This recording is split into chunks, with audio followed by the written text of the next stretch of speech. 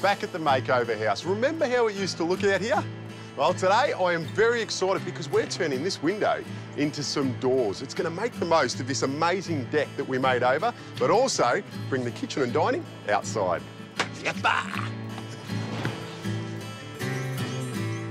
You're lucky enough to have what we have here today, that's your main living area leading onto this beautiful sized deck and a window blocking it, you can do what we're doing. And that's turning it into doors. As long as you stay within the opening, so you don't go any wider than these side bricks here and no higher than this lintel. Anything below this is non-structural, which means you can cut it out. First up, I'm taking out the old brick sill. Then it's a matter of using a straight edge to bring the line of the existing window down so I can cut with the grinder.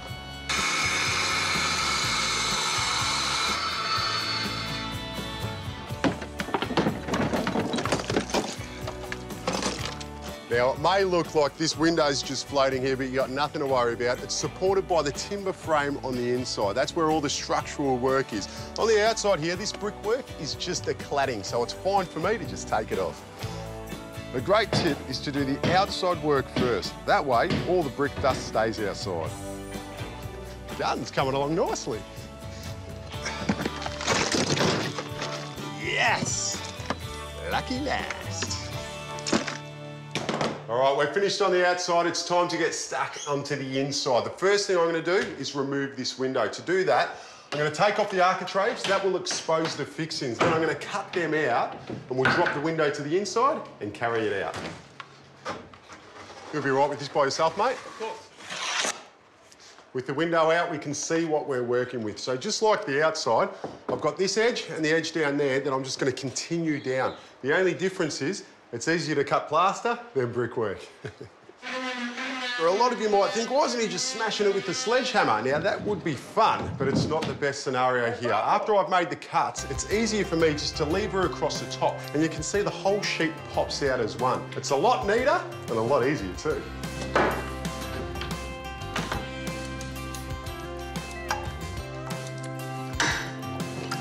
Ooh, yeah. Thanks, mate.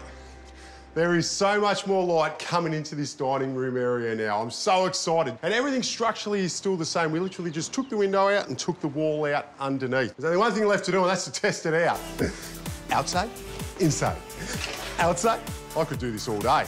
But unfortunately, I think we need something else. That's some doors. Thank you.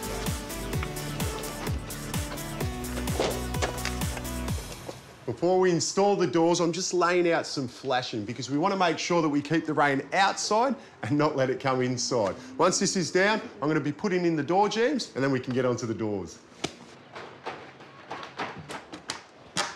Look at that, fits like a glove. And that's the benefit of having these custom made because they make them to the opening size. So it's a matter of just putting it in like we have and fixing it off. All right, this is the exciting part. It's time to put on the doors.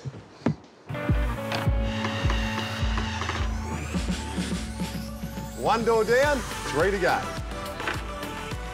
The other benefit of getting it custom made is this has all been fitted before, so we're just assembling it on site now. All these doors are numbered, so we know where they go. You can see that it's pre-drilled, so it's a matter of just lining it up and screwing it off.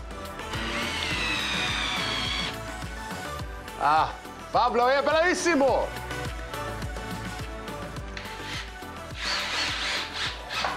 All right, that's the last screw. Let's shut this back door. Look at that. Lock her up. Looking good. Now, this gap here, you might think it's too big, but these doors can actually adjust in, so that's just a fine adjustment, but I'm pretty happy with that. This is a flashing that I put down earlier before we put in the jamb. And what I'm doing now is just folding it up on the inside and that creates a tray. So basically, if any water does get underneath, it definitely can't get inside. And to finish these off, I've just given them a quick sand. And now I'm going over it with a teak stain. It looks fantastic. All right, the doors are stained. Now it's time to fit the architraves, which will close the gap between the reveal and the plaster. I'm just going to be cutting some 45 degree angles using the drop saw, which will allow me to picture frame it around our opening.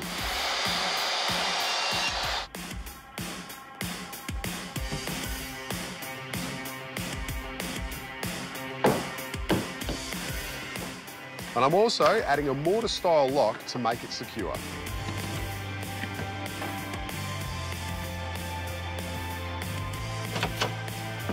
How nice is that handle? Now, there's only one thing left to do, and that's to get the plastic off these windows so we can see the big reveal.